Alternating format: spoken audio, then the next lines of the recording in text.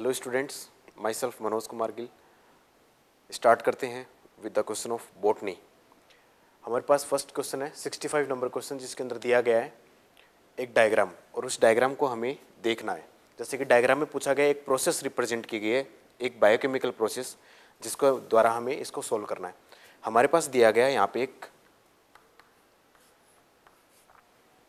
Part हमें options में दिया गया है, तीन ऑप्शन देखो। रेप्लिकेशन ट्रांसक्रिप्शन और ट्रांसलेशन इन तीन चीज़ों के बारे में हम पहले से भी जानते हैं।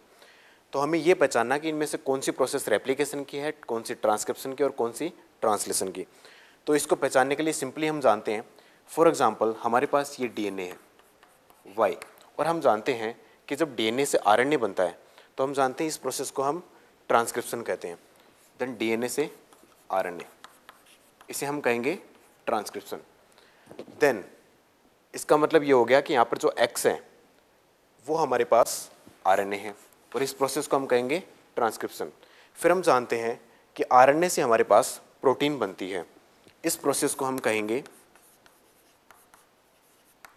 ट्रांसलेशन इसका मतलब हमारे पास इस जगह जेड की जगह पे जो प्रोसेस आएगी, वो ट्रांसलेशन वाली आएगी। इसके बाद यहाँ पर एक ऐसा साइन दिखाया गया है। हम जानते हैं कि एम अपने आप को कभी भी रेप्लीकेट नहीं कर सकता। प्रोटीन अपने आप को रेप्लिकेट नहीं कर सकती। लेकिन डीएनए अपने आप को रेप्लिकेट कर सकता है। इसका मतलब ये डीएनए है। और इस प्रोसेस को हम कहेंगे रेप्लीकेशन इसका मतलब फ़र्स्ट ऑप्शन में दिया गया है पी की जगह रेप्लीकेशन क्यू की जगह ट्रांसलेशन आर की जगह ट्रांसक्रिप्शन एस की जगह रिवर्स ट्रांसक्रिप्शन अब हमें यह पहचानना है।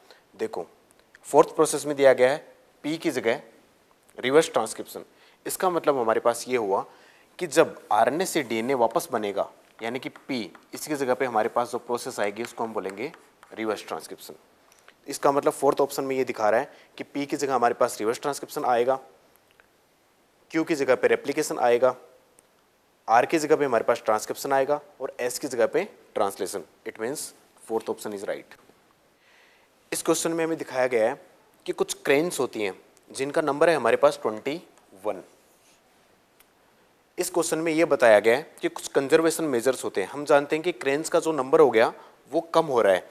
तो आयुसीएन का मतलब होता है आयुसीन जिसका फुल फॉर्म होता है international union of conservation of nature and natural resources इसके अकॉर्डिंग हमें इन क्रेन्स का नंबर इंक्रीज करना है। तो इंक्रीज करने के लिए साइंटिस्ट ने कुछ मेजरमेंट्स किए हैं। जिसके अकॉर्डिंग हमें ये ध्यान देना है कि इन चार प्रोसेस में से वो कौन सी प्रोसेस है जिसके द्वारा हम इसकी इस फिनोमिना को समझने की कोशिश करें। तो दरअसल ये क्वेश्चन तो हमारे पास बायोलॉजी के अंदर एक सब्जेक्ट आता है जिसको हम कहते हैं इथोलॉजी इथोलॉजी का मतलब होता है बिहेवियर स्टडी यानी कि एक एनिमल की स्टडी और उसका जो बिहेवियर होता है, उसकी स्टडी को हम करेंगे, उसको हम बोलेंगे इथोलॉजी क्योंकि इथोज का मतलब बिहेवियर लोगोज का मतलब स्टडी तो इसके अंदर हमें उस एनिमल की, यानी कि हमारी जो क्रेन है, उसकी जो नंबर है, उसको हमें इंक्रीज करना है। तो उसके लिए हमें जो इसकी स्टडी करेंगे, उसको हम इथोलॉजी बोलेंगे। तो इस इथोलॉजी का एप्लीकेशन हमारे पास क्या होगा?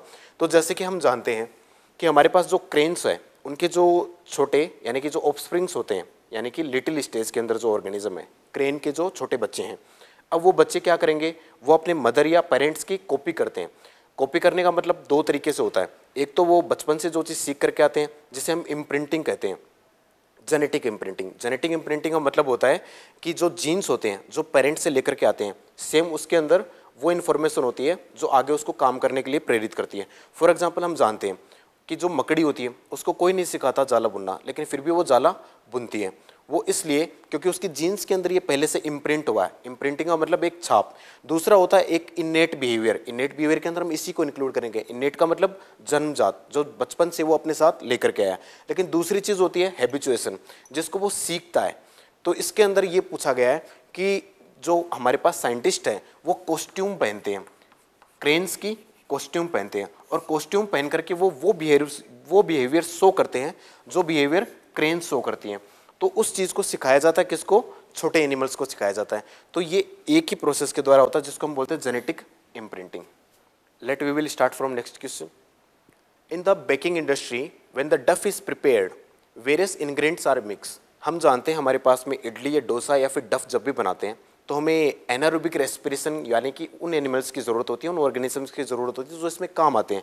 फॉर एग्ज़ाम्पल इसके अंदर एक एग्ज़ाम्पल दिया गया है यीस्ट हम जानते हैं कि यीस्ट है उसको कल्चर करने के लिए यीस्ट को कल्चर करने के लिए हमारे पास सॉल्यूशन में शुगर ऐड करनी चाहिए। क्योंकि हम जानते हैं शुगर होती है वो एनर्जी देती है। तो जितनी ज़्यादा शुगर होगी, जितनी ज़्यादा एक्सेस में होगी, उतनी ज़्यादा इनका नंबर भी इंक्रीज होगा। लेकिन हम जानते हैं, इस क्वेश्चन में पूछा गया कि ऐसा क्या हुआ कि जो हमारे पास डफ है, उसके अंदर जो पफ्ड अप अपीयरेंस आती है, यानी कि उसके अंदर जो राइज आता है, यानी कि जो उसकी मोटाई होती है, वो नहीं आ पाती।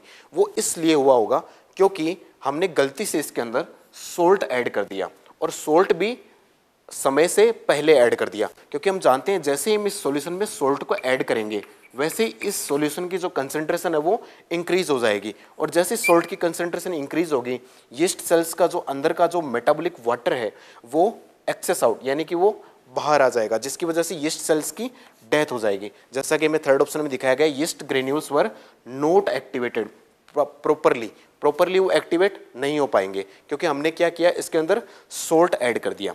इसलिए हमारे पास दो ऑप्शन जाएँगे फ़र्स्ट और third let we will start from the next question given below are four statement हमारे पास चार स्टेटमेंट दिए गए। जैसा कि हम जानते हैं, हमारे पास जो प्रोक्रियोटिक सेल्स होते हैं, वो हमेशा कैसे होते हैं? यूनिसेलुलर और हमारे पास जो यूकैरियोटिक सेल्स होते हैं, वो कैसे होते हैं?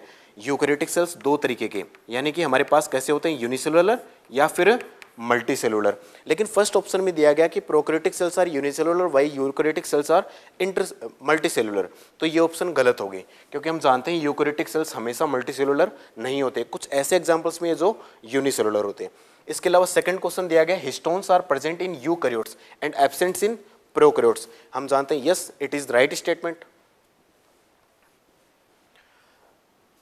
the nucleoid content genetic material हम जानते हैं कि हमारे पास जो बैक्टीरिया होते हैं, जिनको हम प्रोकैरियोट्स कहते हैं, उनके अंदर पाए जाने वाला जो उनका डीएनए है, उसको हम कई नाम से जानते हैं। For example fibrillar for example nucleoid और कई बार इसको हम प्रोक्रोमोजोम भी कहते हैं। तो इन्होंने कहा कि जो न्यूक्लियोइड है, वो contain genetic material in prokaryotes लेकिन यूकैरियोट्स में ये न्यूक्लियोइड नहीं पाया जाता, इसलिए ये वाला स्टेटमेंट गलत हो जाएगा। फोर्थ स्टेटमेंट है prokaryotic flagellum is composed of flagellin protein yes we know flagellin वो प्रोटीन है जिसके द्वारा प्रोक्रियोट्स का फ्लेजिला बनता है। और प्रोक्रियोट के फ्लेजिला में और यूक्रियोट के फ्लेजिला में यही डिफरेंस होता है। सिर्फ़ जो प्रोटीन होती है, उसका डिफरेंस होता है। जैसे कि प्रोक्रियोट का फ्लेजिला जो बना है, वो फ्लेजिलिन प्रोटीन से और यूक्रियोट का फ्लेजिला ट्यूबलिन प्रोटीन से। तो ये स्टेटमेंट भी सही है। लेकिन हमसे पूछा गया कि वो ऑप्शन बताइए जो गलत है। तो हम जानते हैं, हमारे पास दो ऑप्शन गलत हैं। एक तो फ़र्स्ट और एक थर्ड जो कि हमें दिखाया गया है। इस ऑप्शन में fourth option let us we will start from next question हमारे सामने एक एग्ज़ाम्पल दिखाया गया बेटा पाइनस तो पाइनस के अंदर हम जानते हैं कि उसे ग्रो करवाया गया एक कोल्ड कंट्री में, जिसका नाम है रसिया। और हम जानते हैं, चाहे एनिमल्स हो, चाहे प्लांट हो, जैसा उनका इन्वायरमेंट होगा, उसके अकॉर्डिंग उनके अंदर कुछ एडेप्टेशन होंगे, कुछ मॉडिफिकेशन होंगे। तो इसके अंदर ये दिखाया गया है कि इनकी जो प्लाज्मा मेम्ब्रेन है, उसके अंदर जो लिपिड्स पाए जाते हैं, वो सेचुरेशन शो करते हैं। और हम जानते हैं, कोई भी लिपिड अगर सेचुरेटेड हो जाएगा तो हम जानते हैं कि उसके थ्रू सेल की जो मेम्ब्रेन होती है, उसमें जो फोस्फोलिपिड्स पाए जाते हैं, अगर वो फोस्फोलिपिड्स सॉलिड हो गए या संतृप्त हो गए या सेचुरेटेड हो गए तो वो मोलिक्यूल्स का, यानी कि मोलिक्यूल्स का अंदर आना और बाहर जाना मुश्किल हो जाएगा तो एक सेल है वो डेड हो जाएगा। इसलिए सेल मेम्ब्रेन के अंदर जिस फोस्फोलिपिड की अमाउंट बढ़ाई जाएगी, उस फोस्फोलिपिड का नाम होता है पोली अनसेचुरेटेड अनसेचुरेटेड का मतलब हो गया असंतृप्त, यानी कि लो टेम्परेचर पे भी ये क्या बने रहेंगे? लिक्विड बने रहेंगे। इसलिए इस मेम्ब्रेन की फ्लूडिटी है वो कंटिन्यूस बनी रहेगी। Therefore the right option is polyunsaturated lipids in plasma membrane let us start with next question an organism has 27 pair of homologous chromosomes एक ऑर्गेनिज्म है जिसके पास 27 नंबर हैं क्रोमोजोम्स के। वो भी पेयर दिए गए इसका मतलब नंबर ऑफ़ क्रोमोजोम्स निकाले जाएँगे तो कितने हो जाएँगे? 27 और 27 54 फिर पूछा गया है daughter cell after completion of mitosis यानी कि जब ये सेल डिवाइड करेगी तो हम जानते हैं सेल्स दो तरीके से डिवाइड करते हैं। एक तो हमारे पास होती है प्रोसेस जिसको हम बोलते हैं माइटोसिस और दूसरी जो प्रोसेस होती है उसको हम बोलते हैं मियोसिस मियोसिस में हमारे पास हमेशा चार सेल्स का फॉर्मेशन होता है, और माइटोसिस में दो सेल्स का। और हम जानते हैं माइटोसिस में जब भी सेल डिवाइड करती है तो जो सेल्स हैं, उनके अंदर क्रोमोजोम का नंबर फिक्स रहता है। यानी कि अगर 54 क्रोमोजोम्स इस पेरेंट सेल में है तो इस डॉटर सेल में भी क्रोमोजोम्स का नंबर 54 ही होगा। लेकिन इसके उलट जो हमारे पास म्योसिस प्रोसेस होती है म्योसिस के दौरान नंबर ऑफ़ क्रोमोजोम्स रिड्यूस हो जाते हैं। यानी कि हमारे पास म्योसिस दो प्रोसेस में डिवाइड की जाती है। एक तो होती है म्योसिस फ़र्स्ट और एक होती है म्योसिस सेकेंड तो म्योसिस फ़र्स्ट के दौरान जो क्रोमोजोम है, वो रिड्यूस हो जाएँगे, यानी कि 54 से 27 27 देन हम जानते हैं कि जो म्योसिस सेकेंड होती है, वो सिमिलर होती है किसके? माइटोसिस के। इसलिए नंबर ऑफ़ क्रोमोजोम दोबारा से रिड्यूस नहीं होंगे और नंबर उनका 27 ही रहेगा। तो इस क्वेश्चन के अंदर पूछा गया है after the completion of mitosis and each gamete after completion of meiosis second तो हम जानते हैं कि पहले तो हमारे पास 54 और देन 27 देन हमारे पास इस ऑप्शन में है second option 54 and 27 let us start from next question. हमारे पास एक क्वेश्चन दिया गया जिसमें कहता है कि राहुल स्प्रे एक chemical X on plant with rosette habit अब इस रोजिटेबिट का मतलब ये हो गया कि हमारे पास एक प्लांट होता है, जैसे कि रोज होता है। हम जानते हैं कि उसके ऊपर नोड के ऊपर बहुत सारे हमारे पास पेटल्स पाई जाती हैं। हम जानते हैं कि इन पेटल्स के बीच की दो दूरी होती है, वो बहुत कम होती है। लेकिन इस दूरी को हमें कम करना है। या ज़्यादा करना है। जिसके दौरान हमें क्या करना है, हमारे पास एक केमिकल है। हम जैसे कि जानते हैं प्लांट्स के अंदर पाँच तरह के हॉर्मोन्स होते हैं।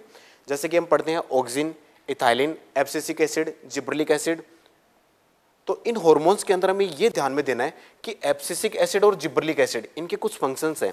तो जिब्रलिक एसिड जो हार्मोन होता है वो क्या करता है? जैसे इसे स्प्रे किया जाएगा तो ये इंटरनोड का जो इलोंगेशन है, उसको इंक्रीज कर देगा। तो जैसे ही इंटरनोड की इलोंगेशन ज़्यादा हो जाएगी, वैसे ग्रोथ करने के लिए पेटल्स को ज़्यादा जगह मिल जाएगी। तो जो रोजिटेबिट है, वो दूर हो जाएगी। यानी कि इस प्लांट में आपने देखा कि रोजिटे बिट के अंदर क्या हुआ? एक नोड के ऊपर बहुत सारे पेटल्स एक साथ लगे हुए जिसको हम रोजिटे बिट बोलते हैं रोज लाइक स्ट्रक्चर बट जैसे हमने इस केमिकल को स्प्रे किया, ये रोजिटे बिट दूर हो जाती है। इसलिए इसने क्या कहा?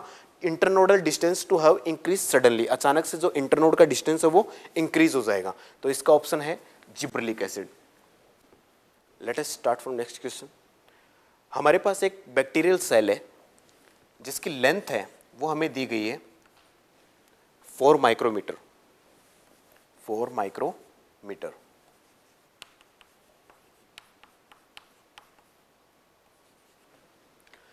Then this cell was magnified यानी कि हमने माइक्रोस्कोप की हेल्प से इसे मैग्नीफाई किया, और इसका जो डायमेंशन है, वो हमारे पास है सिक्स सेंटीमीटर यानी कि सिक्स सेंटीमीटर जब हम इसे मीटर में कन्वर्ट करेंगे तो ये हो जाएगा six into ten is to power minus two metre then पूछा गया कि ये सेल कितने टाइम मैग्नीफाई हो गया? यानी कि माइक्रोस्कोप में जब हमने इसे देखा तो हमने इसको एक्चुअल कितना डायमेंशन इसका मैग्नीफाई हुआ है, उसको हमें कैलकुलेट करना है।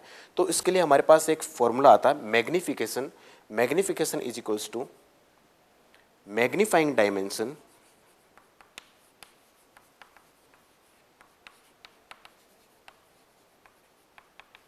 upon actual dimension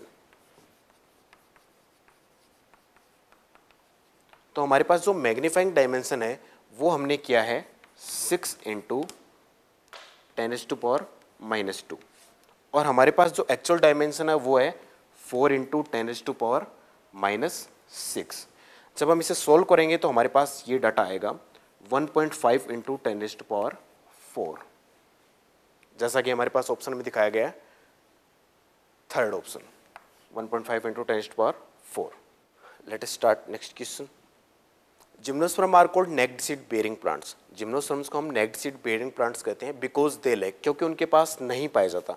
तो हम जैसे कि जानते हैं, हमारे पास दो प्लांट्स होते हैं।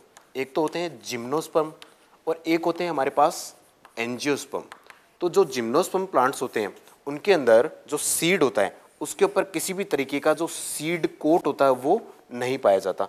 लेकिन हम जानते हैं कि एंजियोस्पर्म प्लांट्स जो होते हैं, उनके अंदर हम जानते हैं कि जब फ्लोवर होता है, उस फ्लोवर के अंदर एक पार्ट पाया जाता है फीमेल रिप्रोडक्टिव पार्ट जिसे हम कहते हैं पिस्टिल और ये पिस्टिल होता है, वो तीन हिस्सों में डिवाइड होता है, यानी कि स्टिग्मा स्टाइल और ओवेरी और हम जानते हैं कि ये ओवेरी वाला जो पार्ट है, वही आगे चल करके फ्रूट वॉल में कन्वर्ट हो जाएगा. ये ओवेरी वाला पार्ट फ्रूट वॉल में कन्वर्ट हो जाएगा.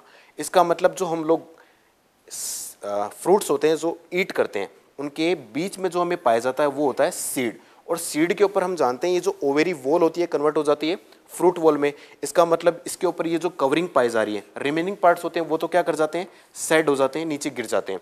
लेकिन ये जो फ्रूट वाला पार्ट होता है, जैसे कि हम हीट भी करते हैं तो ये वॉल वाला पार्ट किसके ऊपर प्रेजेंट है? सीड के ऊपर प्रेजेंट है। इनको तो हम बोलते हैं एंजियोस्पर्म लेकिन हमसे पूछा गया कि जिम्नोस्पर्म प्लांट्स होते हैं, उनके अंदर जो सीड कोट होता है, वो नहीं पाया जाता। तो सीड कोट नहीं पाया जाता, इसका मतलब ओवेरी से है। जैसा कि हमने डायग्राम में देखा है तो जो जिम्नोस्पर्म में नहीं पाया जाता तो हमारे पास ऑप्शन होगी वो third let us start next question on a study tour plants with leathery leaves with thick cuticle viviparity salt glands apogeotropic roots इसमें यह बताया गया कि कुछ स्टूडेंट्स होते हैं जो ट्यूर के ऊपर जाते हैं, और उन्होंने स्टडी में देखा कि कुछ ऐसे प्लांट्स होते हैं जिनके अंदर कुछ ये करेक्टर्स पाए जाते हैं। जैसे कि जो लीव्स होती हैं, उनके ऊपर क्यूटिकल पाया जाता है। जैसे कि वो विविपेरिटी शो करते हैं। यहाँ पर बहुत सारे टर्म्स दिखाई गई हैं। तो उससे रिलेटेड हमें प्लांट को चूज़ करना है कि कौन सा वो प्लांट है जिनके अंदर ये करेक्टर्स पाए जाते हैं। तो हम जानते हैं कि हमारे पास कुछ ऐसे प्लांट्स होते हैं, समंदर के किनारे जो पाए जाते हैं, यानी कि जो खारे पानी में पाए जाते हैं। हमारे पास जो सी वाला जो एरिया होता है, यानी कि समंदर, उसके किनारे पर जो प्लांट्स पाए जाते हैं, उन प्लांट्स को हम मैंग्रूव प्लांट्स कहते हैं। उन प्लांट्स को हम मैंग्रूव प्लांट्स कहते हैं। ऐसा कहते हैं कि इनकी जो लीव्स होती हैं, या फिर जो उनके स्टेम वाला पार्ट है, या फिर जो लीव्स वाला पार्ट है, यहाँ पर हमारे पास जो सीड लग रहे हैं तो बेटा वो जो सीड्स होते हैं, वो सीड क्या शो करते हैं? विविपेरेटी शो करते हैं। विविपेरेटी का मतलब ये होता है कि वो प्रिकोसियस जर्मिनेशन शो करते हैं। जैसा कि हम जानते हैं, जो सीड है, वो एक प्लांट से नीचे करने के बाद ही ग्रो करता है। लेकिन इसके अंदर क्या होता है? जो सीड्स होते हैं, वो प्लांट के ऊपर ही क्या करते हैं? जर्मिनेशन शो करते हैं। इस फिनोमिना को हम कहते हैं विविपेरिटी दूसरा क्या हो गया? जब ये समंदर के किनारे रहता तो, तो ओबियसली इतनी बात है कि यहाँ पर सोल्ट की जो कंसेंट्रेशन है वो ज़्यादा है। तो जो सोल्ट की कंसेंट्रेशन ज़्यादा होगी तो जो प्लांट है वो भी क्या करेगा? सोल्ट को ज़्यादा एक्वायर करेगा। तो सोल्ट को वापस से रिलीज़ करने के लिए इसकी बॉडी के अंदर जो प्लांट की बॉडी है उसके अंदर सोल्ट ग्लैंड पाए जाएँगे। सोल्ट ग्लैंड फिर इसके बाद हम जानते हैं कि यहाँ पर हमारे पास ऑक्सीजन की भी कमी रहती है। तो जो इन प्लांट्स की रूट्स होती हैं वो ज़मीन से बाहर आ जाती हैं और ज़मीन से बाहर आकर के वो क्या करती हैं? ऑक्सीजन को रिसीव करती हैं। इन रूट्स को हम बोलते हैं एपोजियोट्रोपिक रूट्स या ए एजियोट्रोपिक रूट्स जो नेगेटिवली जियोट्रोपिक होती हैं। इसका मतलब ये जो करेक्टर्स पाए जाते हैं जिन प्लांट्स में, उन प्लांट्स को हम मैंग्रूव्स कहते हैं। Let us start with next question rate of photosynthesis in hydrophytes hydrophytes का मतलब वो प्लांट्स जो पानी के अंदर पाए जाते हैं। डिपेंड ऑन वेरियस पैरामीटर्स हम जानते हैं किसी भी प्लांट की जो ग्रोथ होती है या फिर जो रेट ऑफ़ फोटोसिंथेसिस होती है, उसको बहुत सारे फैक्टर्स इफ़ेक्ट करते हैं। For example light intensity wavelength C two concentration and temperature तो हम जानते हैं कि इसके अंदर जो मोस्ट एब्जॉर्प्टिव फैक्टर होगा, क्योंकि ये जो ग्राफ दिखाया गया है, इस ग्राफ का नाम होता है एब्जॉर्प्शन स्पेक्ट्रा एब्जॉर्प्शन स्पेक्ट्रम और एब्जॉर्प्शन स्पेक्ट्रम के जो ग्राफ होते हैं एब्जॉर्प्शन स्पेक्ट्रम के जो ग्राफ होते हैं उसके अंदर हम जानते हैं जितनी ज़्यादा वेवलेंथ की ऑब्जॉर्प्शन मतलब कि अलग अलग वेवलेंथ के ऊपर रेट ऑफ़ फोटोसिंथेसिस वो अलग होता है, क्योंकि अलग अलग वेवलेंथ के लाइट को प्लांट अलग अलग लेंथ पे ऑब्ज़र्व करता है। इसलिए हम लोग जानते हैं यहाँ पर अगर दिखाया जाए, ये जो पैरामीटर है, ये हमारे पास होगा वेवलेंथ क्योंकि वेवलेंथ होती है, जैसे कि हम जानते हैं हमारे पास जो व्हाइट लाइट होती है, उस व्हाइट लाइट में हमारे पास सेवन कलर्स होते हैं और हर एक कलर की जो वेवलेंथ होती है वो अलग अलग होती है। इसीलिए जैसा कि हम जानते हैं हमारे पास दो ऐसी वेवलेंथ वाली लाइट यानी कि रेड और ब्लू, जिनके ऊपर ये ग्राफ हमें क्लियर हो रहा है। जैसे कि हम जानते हैं कि क्लोरोफिल ए होती है, उसके लिए जो मैक्सिमम वेवलेंथ होती है, वो होती है रेड लाइट को ऑब्ज़र्व करने की। और जो क्लोरोफिल बी होती है, वो मैक्सिमम लाइट कर ऑब्ज़र्व करती है, वो होती है ब्लू। तो जो रेड और ब्लू रीजन होंगे, यानी कि जो हमारे पास वेवलेंथ होगी, लाइट होगी, रेड और ब्लू रीजन की, वहाँ पर फोटोसिंथेसिस रेट मैक्सिमम आएगी। तो हमारे पास जो फैक्टर है यहाँ पे, वो है wavelength. Second option. Thank you.